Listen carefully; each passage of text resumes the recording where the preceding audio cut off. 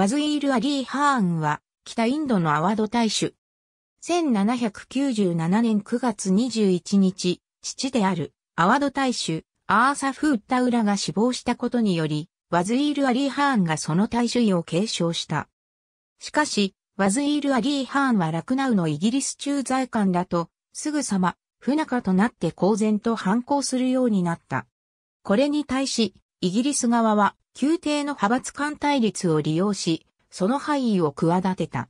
1798年1月21日、ワズイール・アリー・ハーンはイギリスによって廃位され、叔父のサワーダとアリー・ハーン2世が大主位を継承した。彼は年金受給者としてバーラーナシーへと送られた。だが、1799年1月14日、ワズイール・アリー・ハーンはイギリスの駐在官を殺害して逃げた。彼はネパールのブトワルを経てラージャスターンのジャイプル王国へ逃げたものの、同年12月にはイギリスに投降した。捕らえられた後、ワズイール・アリー・ハーンは一時的にベンガルのウィリアム要塞に送られ、そこから南インドのベルールへと追放された。